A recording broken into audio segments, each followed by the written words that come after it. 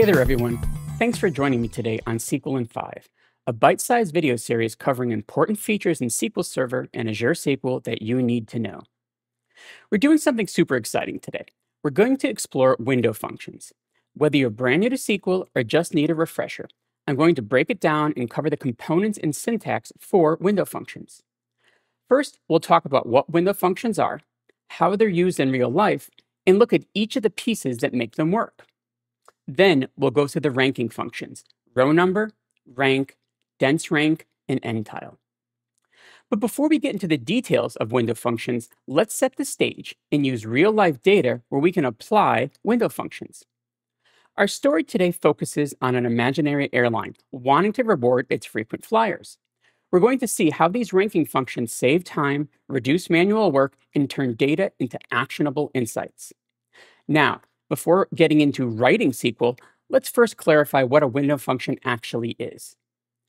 SQL window functions are powerful features that let you perform calculations across sets of rows that are related to the current row without collapsing those rows into a single summary result as a standard group by would. There are four parts that make a window function work. First, function name. The type of window function we want to use. As mentioned before, today we will be looking at row number, rank, dense rank, and NTILE. Next is over. The over keyword introduces the window or set of rows we wish to examine. It tells SQL that we want to do an operation over a partition or entire dataset rather than just an absolute count. Inside the over clause, the partition by subclause lets us divide our data into groups or partitions. Each partition is processed independently for the ranking or calculation. And last is order by. Still within the over clause, order by specifies how to sort rows within each partition. For ranking function, order by is required to define the ranking sequence. Without window functions, you might try using a group by, but group by collapses rows, giving you only one row per group. For example, with membership tiers with our fictional airline, you can only get a single row for silver, one for gold, and so on. This is useful for high level summary, but you lose the per passenger detail. Let's talk about the ranking window functions. Ranking window functions in SQL are super handy when you want to assign a rank or position to each row. First up is row number. This function simply assigns a unique sequential number to each row starting from 1. This means no ties, each row gets its own number. Using our airline data, let's start with a very direct question. Who is the top flyer in our entire database?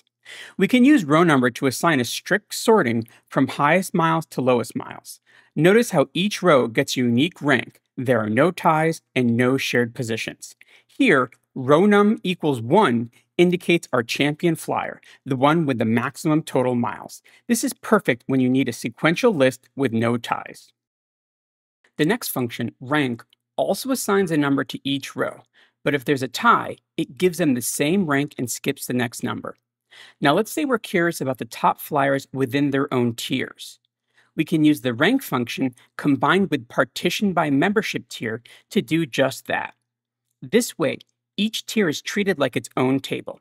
If two or more passengers tie, they'll share the same rank, and the next rank value will skip accordingly. Here, two passengers tie for second place. They both get rank 2, and the next passenger now gets rank 4.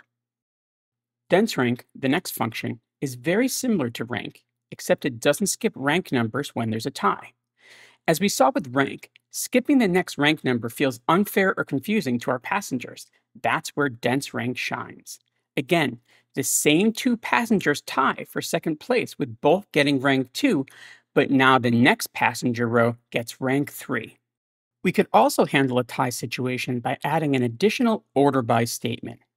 If we add the flights taken column in order from most to least, we can use this to break any total mileage ties. The NTILE function splits the result set into specified numbers of groups or tiles.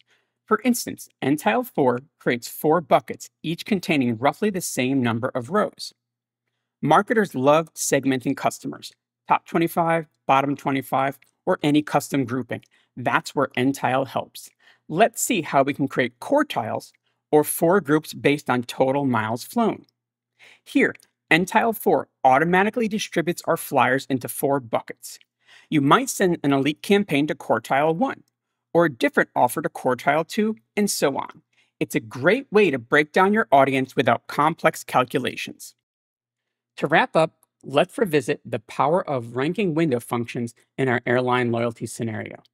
You saw how row number, rank, dense rank, and NTILE work to keep each passenger's individual details intact, like their name, flights, and total miles, while layering on a position or bucket within the respective tiers. By assigning these rankings, you immediately see who's on the top, who might be tied for a spot, or even how they're split into different segments. That's it for this session. I hope this overview of ranking window functions help you see how powerful and flexible they are.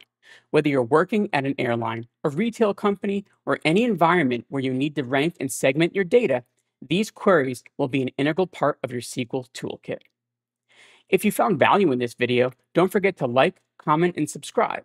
Let me know in the comments if you have any follow-up questions or if there's another SQL topic you'd like me to cover. Thank you and see you all in the next video.